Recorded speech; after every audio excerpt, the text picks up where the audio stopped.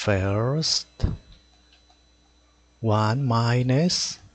Multiply 2 multiplied by 1 is 2 here. Positive negative.